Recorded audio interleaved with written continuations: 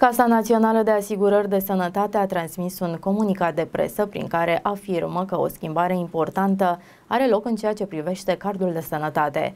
Președintele CNAS a dat ordinul care acum este publicat în monitorul oficial.